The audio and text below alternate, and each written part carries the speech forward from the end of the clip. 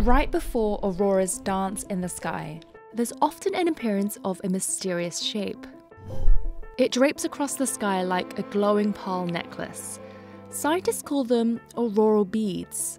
Structures like these can reveal how Earth's magnetic field interacts with solar material gushing through space.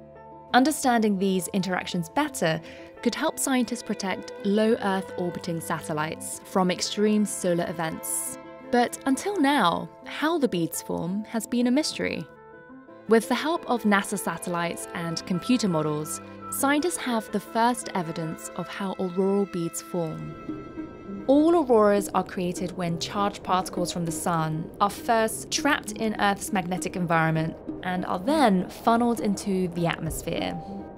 But scientists are now realizing that small changes in the magnetic environment can cause big differences in how the aurora can look.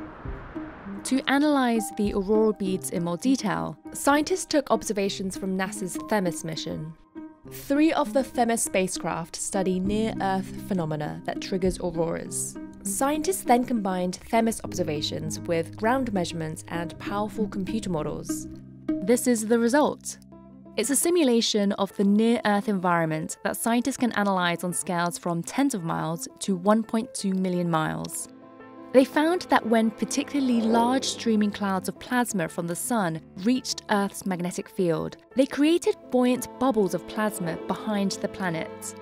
Just like a lava lamp, the buoyancy between the bubbles and heavier plasma creates fingers of plasma about 2,500 miles wide that stretch down towards Earth creating the distinct pearl necklace structure in auroral beads. From the ground, the beads average about 30 miles wide. Scientists hope these models will also be able to explain other small scale structures seen in the auroras. The new results show us that even small, short lived events within auroras can be linked to big global phenomena in our near Earth environment.